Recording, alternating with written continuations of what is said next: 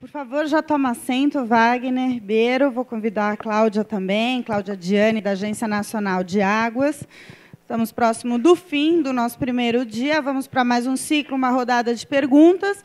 E logo na sequência, a Carla, que é daqui da organização dos cursos, vai explicar os procedimentos para o prêmio de jornalismo ambiental. Mas vamos partir primeiramente para as rodadas. Mais uma vez é só levantar a mão. Ah, o Carlos Bocuí teve que ir voar para Brasília. Já temos eh, ali, já temos duas perguntas, tá?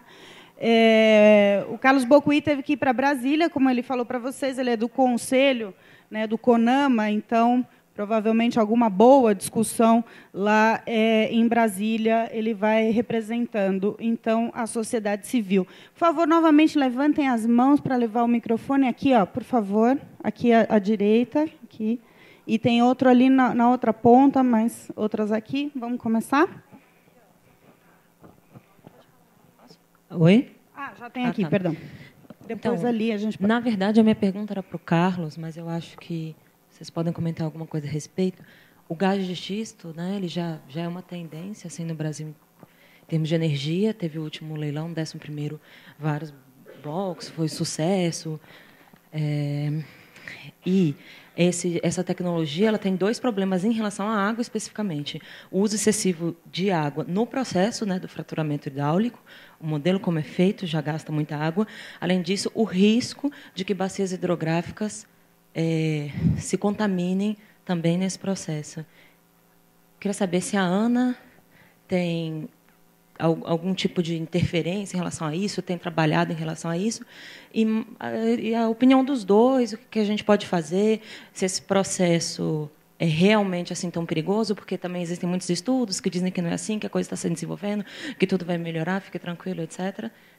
Queria saber isso. Obrigada.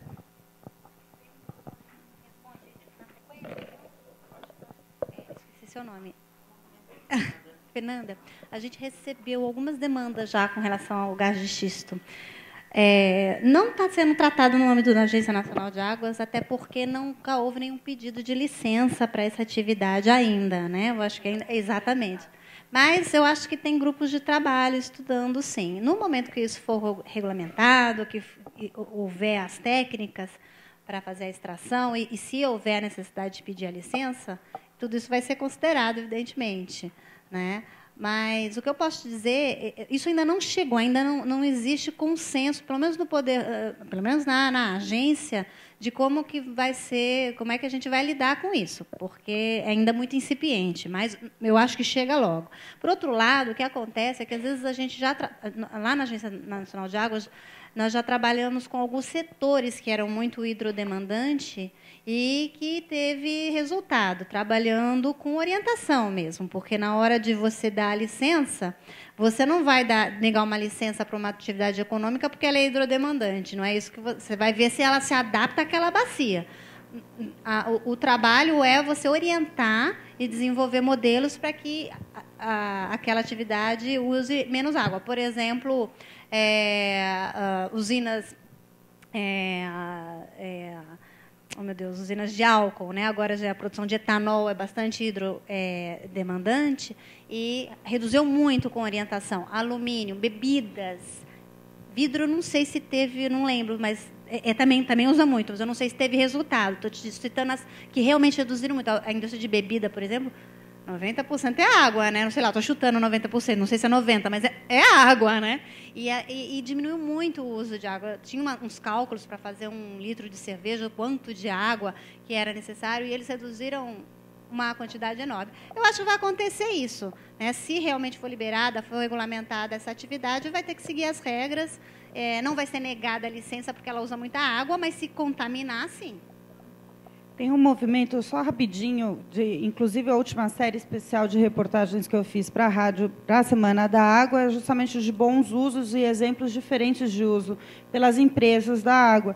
E justamente a Ambev né, anunciou, ele, a Ambev adota bacias, ela já partiu para uma outra iniciativa, que é adotar na base, ou seja, patrocina, financia ONGs que cuidem da bacia com reflorestamento, com trabalhos, enfim, para evitar a poluição daquela bacia, já que sua principal matéria-prima é a água. Bom, Fernando, eu agradeço muito essa pergunta, porque eu vou dar minha opinião com muita objetividade. Eu considero a estação de gás de xisto um retrocesso. Primeiro, porque está, de novo, voltando para uma matriz energética não renovável baseada no carvão. Segundo, porque, além disso, está contaminando concretamente, como já vários estudos nos Estados Unidos mostrando, os, os corpos d'água, especialmente, porque o corpo d'água não é só o caudal, né? tem a água subterrânea, tem o, o, o lençol freático também. Eu diria, por que, que países como França e Bélgica proibiram o uso dessa técnica? E eu acredito que o Brasil está tomando, aliás, uma, não só nesse aspecto, nós estamos assistindo um retrocesso grave das questões ambientais no nosso país e promovendo leilões sem nenhuma discussão aberta com a sociedade brasileira acerca de o que fazer, como licenciar, se é que é necessário, inclusive, licenciar esse tipo de empreendimento no Brasil do meu ponto de vista, é um retrocesso também, porque nós, com isso, vamos deixar de estimular a produção de fontes de energia alternativas, que são, na verdade, as renováveis. Então, sou veementemente contra esse tipo de extração e vou recomendar que você assista um documentário chamado Gasland, não sei se já tiveram a chance de ver, enfim, mostrando as implicações seríssimas. Né? Gente que é, criava gado nos Estados Unidos da América, o gado morrendo porque começou a tomar água contaminada, o cidadão que ele até brinca, agora a água da minha casa sai quente, quer ver como ele faz? Ele liga lá, abre a torneira, né, e, e, acende um palito de fósforo e, e, sai uma chama, então a água fica aquecida. Só que não pode tomar mais aquela água. Sempre que se conversa com essas pessoas, não, eles agregam algumas substâncias químicas. Pois bem, quais são? Eles não abrem. Dizem que com uma manta de concreto de 30 centímetros vai resolver. Isso se fala para chorume alguns milhões de anos e nunca resolveu. Então, acredito que no Brasil nós estamos retrocedendo em promover esses leilões e a sociedade brasileira não está debatendo, não está sendo informada adequadamente sobre essa questão. É, só complementando, a gente tem é, programas, a gente, eu digo Brasil, o mundo inteiro de despoluição de rio, que já é difícil. Despoluir água subterrânea é quase impossível, é muito difícil. Então, é um assunto para acompanhar com muita seriedade mesmo.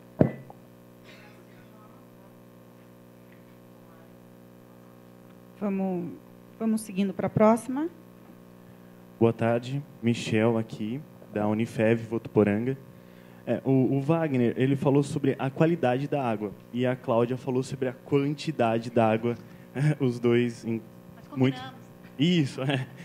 Bom, é, eu queria saber qual que é a qualidade da água no Brasil, porque no mês de janeiro eu estive no Piauí pelo projeto Rondon e lá o Ministério da Defesa dizia não consuma a água que a população consome.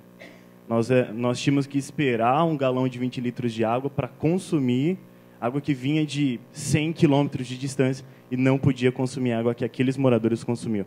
Qual que é a qualidade da água hoje no Brasil? Essa é a pergunta. A gente faz um levantamento, a gente tem um relatório anual lá na ANA sobre a conjuntura dos recursos hídricos no Brasil. Né? O próximo deve sair em julho, que ali mostra o estado da arte da, da água no Brasil. E um dos capítulos é a qualidade da água. Tem várias formas de falar sobre a qualidade da água. Se você pegar a água do Brasil como se fosse um grande caldeirão, juntar tudo assim e mexer, isso, lógico que não é essa realidade, você vai ter acho que é 76% de água boa. É, é bastante confortável, né? Esse levantamento tem que ser feito, ele é feito. Então, 76% das, da água nas bacias hidrográficas do Brasil é boa. Mas se você fizer o recorte nas é, regiões metropolitanas, aí 32% é péssima. Então, depende do recorte. É, né, da, não dá para. Você tem que fazer análise geral, mas tem que fazer análise também local. O SOS Mata Atlântica divulga todo ano também um levantamento, que eu não lembro agora o número deles de cabeça, mas que dá um resultado ainda pior. Por quê? Porque eles acompanham, eles fazem um recorte ainda mais focado de corpos hídricos que já estão altamente contaminados há muito tempo nas regiões metropolitanas e eles mostram sempre que não tem havido melhora. Então, a melhora, quando há, é sutil. Então, é, se você considerar as regiões metropolitanas, ainda 32% é não, acho que é, até trouxe, é ruim e 30% regular. Mas se você considerar o Brasil inteiro, se você juntar tudo, aí é bom. Né? Então, e aquilo que a gente já falou aqui um momento, principalmente por causa da, do, do, da. É muito incipiente ainda o tratamento de água no Brasil. Né? A gente recolhe cerca de 50% e trata pouco mais de 30%. Resto é lançado em natura nos copos d'água. Né? Então, ainda tem muito para caminhar. Eu acredito que ela foi muito feliz na resposta. Eu só queria lembrar que o enquadramento da qualidade da água é uma das atribuições definidas pela Política Nacional dos, dos Recursos Hídricos, a famosa Lei de 97 que ela citou. E aí você tem realmente, em algumas áreas, água de péssima qualidade, como ela lembrou muito bem. Então, é, é claro que nós temos muita água disponível, mas água, como ela mostrou bem, 70% está na bacia amazônica, onde você tem em torno de 20% da população brasileira, e onde precisamos mesmo de água de qualidade, que são as regiões metropolitanas, nós temos uma situação realmente bastante crítica. É, só para dar o exemplo de São Paulo, mas você pegar Campinas, pegar São José dos Campos, Baixada Santista e a região de Sorocaba, que é como é abordado hoje a tal da macrometrópole, nós estamos uma situação bastante preocupante hoje já em termos de qualidade de água. Oi, boa tarde. Aqui. Meu nome é Raíssa, eu sou do curso Foco Econômico aqui do Estadão. Venho do Nordeste e a minha região passa hoje por uma das piores secas dos últimos 50 anos.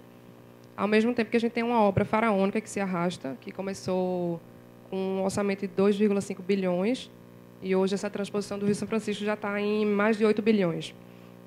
Queria saber de Wagner qual é a opinião dele sobre, sobre a transposição de São Francisco e como é que ele vê as críticas em relação é, ao uso dessas obras para beneficiar a gente que trabalha com agricultura irrigada, grandes indústrias, grandes empreiteiras, quem trabalha com é, cultivo de camarão. E para a Cláudia, eu queria saber como é que anda é, um anúncio que Dilma fez, acho que foi em abril, durante em abril ou maio, durante a reunião de deliberação da Sudene em Fortaleza, dizendo que a Ana estava incumbida de é, elaborar projetos para ver como é que ia ficar o uso e a, a oferta e uso de água em regiões que têm municípios em situação crítica, em situação de emergência. Queria saber quando é que isso deve sair do papel, como é que ficou. Posso começar então? Agradeço, Raíssa, essa pergunta. Veja, é, acredito que o grande problema da água do Nordeste, nós sabemos que não é exatamente a falta de chuva. Em que pese temos agora um, um ciclo mais longo e mais, mais, mais acentuado que de alguma forma confirma os cenários de eventos extremos mais agudos, como aponta o IPCC, e já relacionando um tema fundamental que é a água e mudança climática. Mas eu diria que a, o grande debate que não está sendo feito é para que uso daremos a água que está no, no semiárido no destino. E lá chove em média 600 milímetros por ano, que é três vezes o que chove em Israel, por exemplo. Então, na verdade, o problema é de gestão da água e o que fazer com a água. Se você está pensando no modelo né, de aquele famoso dobrada Petrolina e Juazeiro ali na região, né, Pernambuco divisa com Bahia, e ali implementar uma agricultura altamente intensiva em consumo de água, não vai ter água que seja suficiente. A pergunta é: essa é a missão, essa é a vocação, essa é a inserção que queremos para o Nordeste brasileiro? Exportar fruta para a Europa, mas fruta intensiva em água? Por que nós não podemos? Me permitam lembrar o exemplo do açaí. Vocês devem gostar de açaí, eu pessoalmente gosto muito de açaí. O açaí entrou no, na vida cotidiana de muitos de nós, virou uma. É era um alimento consumido lá pelos caboclos amazônicos, ninguém valorizava muito. Será que a fantástica e rica caatinga brasileira não oferece frutas com a sua especificidade regional, ou seja, uma fruta absolutamente adequada às condições hídricas da região, para que nós possamos ali sim ter uma fonte de geração de riqueza? Por que temos que plantar e cultivar mamão e melão para exportar para a Europa? Essa é a pergunta central. E eu diria que, por exemplo, o caju, que é algo, uma fruta maravilhosa, que tem uma castanha também maravilhosa, é absolutamente abundante, inclusive em ambientes semiáridos. Você é da região deve, deve saber mais do que, do que eu, inclusive. Então a pergunta é: o que vamos fazer com essa água? E aí, eu tive debates já com alto escalão do Ministério das, da Integração Nacional, que é o quem está tocando a obra de São Francisco, e, do meu ponto de vista, é, eles erraram enormemente com essa obra. E não sou só eu que estou dizendo, eu estou em excelente companhia nessa hora. Eu sou um simples mortal, mas aí estava dizendo contra a transposição. O professor Zabsab, infelizmente falecido no ano passado, o pessoal do Rebouças, infelizmente também já falecido, inclusive o pessoal do Rebouças é, pernambucano, o professor é, Suassuna, lá da Fundação Joaquim Nabuco, felizmente vivo, também conta. Por que todo esse coro conta? Porque, na verdade, são construídos, estão sendo construídos dois canais ao ar livre, né? a própria Agência Nacional da Água se posicionou várias vezes, clara, às vezes mais claramente, às vezes não tão claramente, mas subentendendo com que não é a prova obra, esses dois canais vão perder da ordem de 5 a 6% da água por evaporação. Então, além de você estar desviando água, você está tendo uma perda. E qual é o grande destino dessa água? Pelo menos de um dos canais. É perenizar o abastecimento do açude do Castanhão, que foi uma grande obra do Ciro Gomes né, para abastecer Fortaleza. Com qual finalidade? Industrialização de Fortaleza. A pergunta é: precisamos que Fortaleza seja industrializada? Hoje ela não se insere de maneira muito importante no país como foco de tratação turística, de eventos, inclusive, inclusive de turismo internacional. Então a pergunta é: para que essa água no Nordeste? Né? Eu diria que o outro programa que o governo brasileiro desenvolve, que são dos, programa de milhão de cisternas, ele é bastante importante. A Ana ela deve falar bastante sobre isso, muito mais do que eu, deve ter informações mais precisas. Mas esse sim é um programa adequado, porque consiste em captura da água da chuva, uma chuva que não é a chuva que ocorre aqui no sul-sudeste, não tem, portanto, chuva ácida, é uma outra chuva, e que permite sim que a população, com básicos cuidados bem elementares, consiga ter uma água de qualidade para reproduzir um estilo de vida sertanejo. Essa é a questão. Agora, se você quer usar água para importação de, de água, para depois você exportar fruta para a Europa, realmente não vai ter água suficiente. O Aziz falava que esse é um dos maiores crimes ambientais que ele viu em vida. Né? Desculpa se eu me estendi um pouquinho, mas esse tema realmente ele exige esse tipo de, de discussão. Maravilhoso. Claudinha, antes de você responder, eu só queria me despedir de vocês. Amanhã eu volto, a gente, eu vou ser a mediadora até o final. E eu tenho uma entrevista, senão o pessoal vai ficar me esperando. Eu fico aqui, é, quem tiver a oportunidade, lógico, de maneira organizada. É, as duas emissoras ficam no andar aqui de cima. Acho que depois, mas a gente organiza ao longo da semana para quem tiver interesse. Mas eu fico por lá durante a manhã. A gente se encontra. Obrigada, obrigada, pessoal. Daqui a pouco eu volto. Por favor, Claudinha. É, Raíssa, né? Você tem uma série de iniciativas com relação a planejamento sendo adotadas, principalmente nos últimos anos, no Senad, no Semadem, com relação ao monitoramento, eventos críticos. Eu acho que você está se referindo ao Atlas de Vulnerabilidade, que é uma das incumbências da ANA. Porque são dois mapeamentos que estão sendo feitos. Um sobre é, inundações, que é o que a Ana está feito, e um que está tá, tá fazendo, e um outro que, que, é o Ministério da Integração que está conduzindo, que fala dos é, é, deslizamentos. É um, é um, tipo diferente de, de, de, levantamento. Então, eu não sei, eu não, não, sei quando que o do Ministério da Integração vai ficar pronto, mas esse vai mostrar quais são as áreas no Brasil que são vulneráveis a deslizamentos. Aquilo que aconteceu no Rio de Janeiro, que a gente aquela tragédia, aquilo é um deslizamento. A inundação, às vezes, ela é menos trágica. Não quer dizer que ela não cause perdas econômicas e até vidas humanas, né? Mas é quando o rio transborda.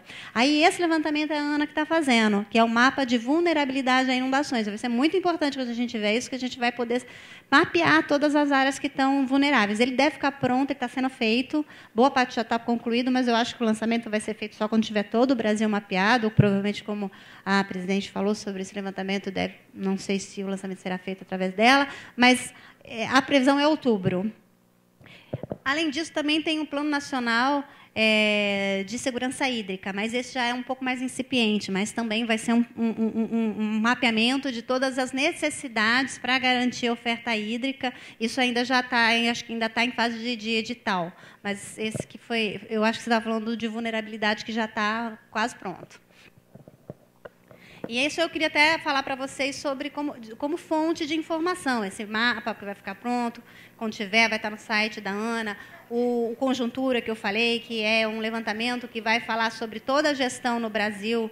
Que todo, todo ano é feito esse levantamento desde, desde 2009. Qualidade da água, oferta, demanda.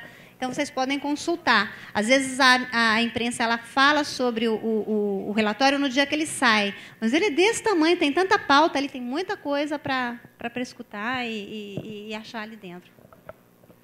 É, quem tem mais pergunta? Alguém?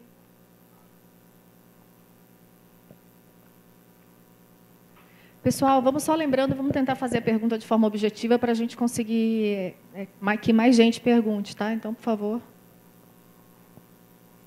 Pode prosseguir? Aí atrás? Por favor.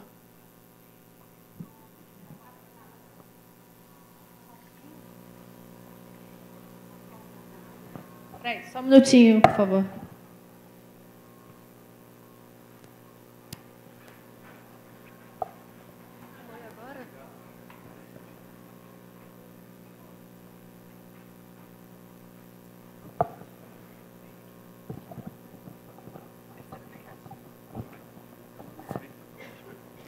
Boa tarde, meu nome é Sirlene, eu sou do curso de Foco Econômico aqui da casa. Eu queria pegar o gancho do que o Wagner falou e retomando um pouco do que o Bucuí também mencionou a respeito da exportação da água, de que maneira isso interfere no desenvolvimento econômico dos países. Veja, é, posso comentar? Sim, por favor. Nós temos duas formas clássicas de exportação da água. Uma é água engarrafada, né? Outro dia um colega disse que estava num congresso e foi tomar uma, um copinho d'água e quando ele viu era produzida no Brasil, tudo escrito em inglês. Tá? Foi poderia ter me trazido a garrafinha que eu usar nas minhas aulas de exemplo, né? Ele não trouxe, perdi o exemplo. É, e a outra é a chamada água virtual, que é a água necessária, a água contida, que na verdade alguns pesquisadores estão chamando de água consumida para a produção de qualquer produto que é comercializado. E aí você tem que pensar que o Brasil hoje é um grande exportador de commodities, basicamente soja, é, em menor escala, eh, nós temos ainda o, os produtos derivados da cana, seja açúcar, seja o etanol, é, e mesmo no caso dos minérios, ainda usa muita água para lavar o minério. Nosso grande beneficiamento é lavar o minério e exportar. Então, nós, é, na verdade, estamos exportando água. Né? E nessa água não está sendo contabilizada, infelizmente. Então, realmente é preciso, sim, é, precificar é, esse custo de extração né, e de agregação da água nessa, nesse produto que acaba sendo comercializado. Infelizmente, isso não tem sido é, considerado, até porque oneraria certamente os produtos, talvez perdesse um pouco de competitividade. Né? Mas é o uso do nosso capital natural para é, exportação de produtos altamente intensivos em água. Pessoal, eu acho que a gente vai ter, a gente começou com um pouquinho de atraso, acho que hoje a gente vai ter que resumir fazer mais uma questão só, então por favor, a última pergunta. Oi, eu sou a Fabiana, sou da Universidade da Unisul, do sul de Santa Catarina.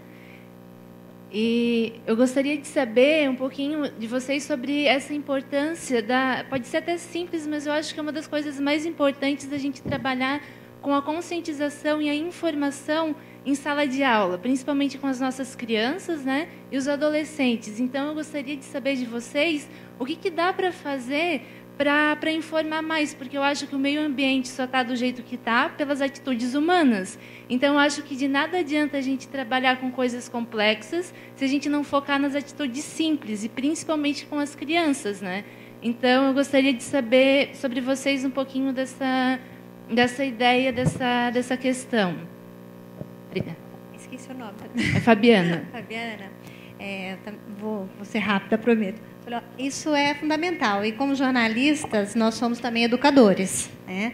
Então, eu posso citar como exemplo um trabalho que a gente fez e que foi uma das coisas mais gostosas que a gente fez na ANA, que é um, um, um programa que chamava O Caminho das Águas.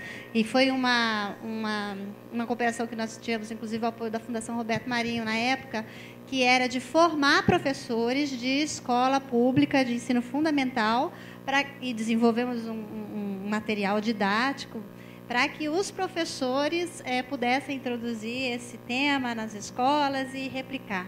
Né?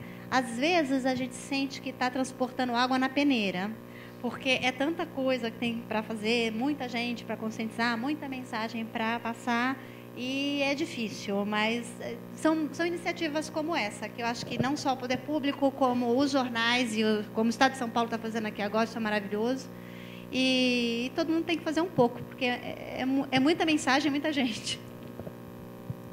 Eu concordo com o que a Cláudia apresentou é, e diria o seguinte, Fabiana: é necessário, sim, é, primeiro pautar esse assunto na, na, grande imprensa. Acho que o Estadão está realmente de parabéns em fazer isso, mas já é bom que se diga é um tema tradicional no Grupo Estado. Né? Não por acaso eu estou lá na, na, rádio também comentando, graças ao convite da Paulina.